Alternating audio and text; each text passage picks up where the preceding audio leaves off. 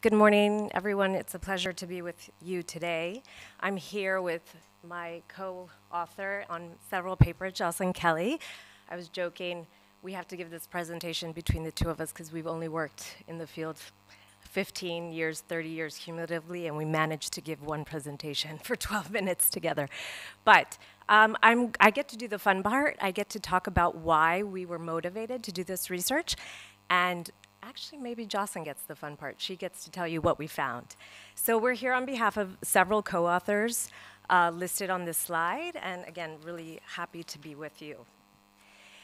First, I want to talk about the global context. I don't think we need a lot of time on this, but we know that currently there are 80 million people uh, that have been forcibly displaced, and as we all know, forcibly displaced people are displaced because of several reasons, climate change, conflict, um, economic drivers, trafficking, et cetera. And so we wanted to look into what the experiences of women in particular were that had been forcibly displaced. So 51% of the refugees and internally displaced people worldwide are women. And of those women, we know that they're experiencing gender-based violence. We know this because globally, the prevalence of GBV is one out of every three women has experienced either sexual violence or intimate partner violence. And so um, in addition to that, during the COVID pandemic, we know that this has increased. So GBV increases with different stressors and conflict and forced displacement is one of those reasons. But I wanted to go over really the motivation of why we decided to look at gender-based violence more broadly than what we um, find in the Security Council resolutions, um, specifically in Resolution 1820, that establishes and focuses sexual, on sexual violence as a weapon of war. So, as we know, that Security Council resolution was adopted in 2008, and really frames sexual violence as a weapon of war, and it does a disservice in doing that by not recognizing all the forms of violence that women experience before, during, and after conflict. So with my co-TTL, Lucia Hanmer, we are leading um, a two-year research project on the gender dimensions of forced displacement, and we're happy to have had the opportunity to research in three separate papers the impact of conflict on intimate partner violence. And so that is what my co-author will present in these um, next slides.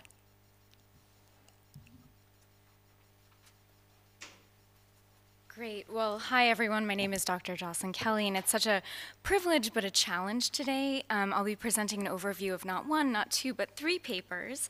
And here I'd just like to give you an understanding that's quick and general of the approaches that we use to complete these papers.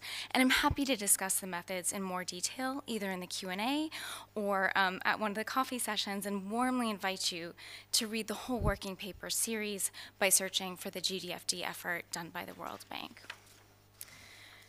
So the overall approach for two of the papers, and as we noted, we're really focusing on using existing data to help us complete our understanding of the experiences of women in forced displacement. And I did also just want to note that across all of the models in each paper, we're presenting the headline, kind of the main association that we're examining, but in all of those models, we adjusted for numerous other known risk factors for the gender-based violence that we're looking at.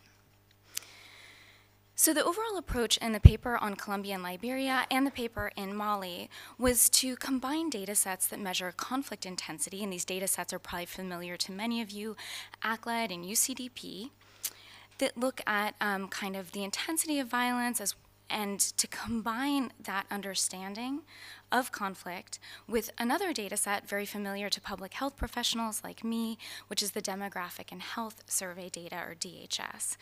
And the DHS happily looks at displacement in a very few instances, so it asks questions about displacement um, in a limited number of countries, including Colombia and Liberia, and it also looks at a huge host of other characteristics, as well as our outcome of interest, which is intimate partner violence. So in Colombia and Liberia, we used ACLED and UCDP data to measure conflict intensity.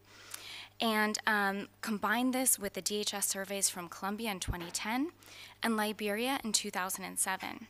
So, this was a comparative study leveraging multi level modeling to look at the drivers of IPV in two very, very different contexts. But something that's notable is the Liberia data occurs five years after the end of the civil conflict. And so, what, the question that we're asking is do we still see an impact on gender based violence five years after this conflict is over, looking at where women live during the conflict?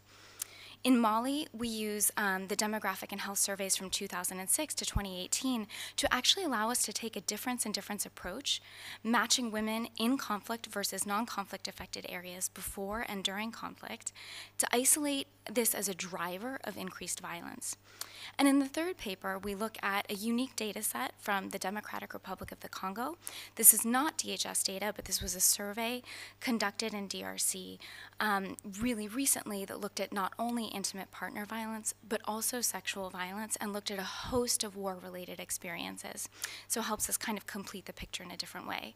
So now we go on a whirlwind tour of our mainline results across these different methods and contexts to show what we argue is a clear through line in our findings.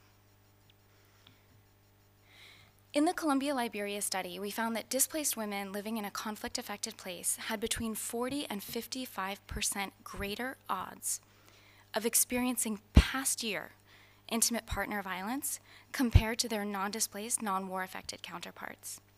And it's notable again that, especially in Liberia, where the conflict has ended, these are past year results that are affected by a conflict that ended more than five years ago. We also looked at different forms of intimate partner violence, and one of the outcomes that we looked at was injury resulting from intimate partner violence. And as you can imagine, that's often one of the most severe kind of expressions of GBV that women can experience. And we found that in Colombia, displaced women were 30% more likely to experience lifetime injury from IPV. In the study in the Democratic Republic of the Congo, we were actually able to look at two outcomes, both IPV and sexual violence. After adjusting for a host of other known correlates of these forms of violence, we found that both experiencing any kind of war abuse and experiencing displacement were significantly associated with intimate partner violence and sexual violence. And notably, really building on Diana's kind of overview of thinking about um, GBV within a continuum, we found that the most common perpetrators of sexual violence were acquaintances and community members, not armed actors. And this speaks to the potential normalization of conflict, not directly linked with, you know, armed atrocities, but kind of the normalization of conflict within a community. In Mali, we found that women living in conflict affected areas experienced notable and significant increases in all forms of IPV. There were also, interestingly, increases in women's household decision making autonomy, possibly due to changes in household composition and power dynamics due to war. But at the same time that they had some increases in household decision making autonomy, they also experienced decreases in women's ability to decide how their earnings were deployed. So, again, it's this kind of mixed bag looking at some of the autonomy um, outcomes that are often seen as very correlated with gender based violence outcomes. So, as we think about some of the overarching and findings and implications across all of these three studies, we find that both displacement and exposure to conflict are both significantly associated with intimate partner violence and non partner sexual violence among women. When we add both of these experiences to an adjusted model, that is, displacement and exposure to conflict, we find that each independently raises the risk of these forms of gender based violence, and that these effects can last years after conflict is declared over. So, we understand that the effects of conflict are long lasting, and in many ways, these impacts were hidden until we used the mathematical pulse to begin to trace how conflict, you know, some of the ways that we talk about it in our work, moves from the public sphere into the private sphere, where it's much harder to trace. And these kind of long term or long lasting problems also require long term investment. So when we think about um, how to address this very pernicious and often hidden approach, um, hidden problem of gender-based violence after conflict and displacement, We can acknowledge that we need to provide stronger GBV related services to displaced and war affected populations. Um, that can include medical care, reporting mechanisms, and psychosocial services. We should invest in multi sectoral programs that address harmful gender norms at the individual household and community levels to help transform these norms to ensure that women can fully and safely participate in society. And that mental health interventions are especially critical to break cycles of violence. And holistic counseling and mental health services could benefit not only survivors and victims of violence, but also partners, families, and communities. Thank you.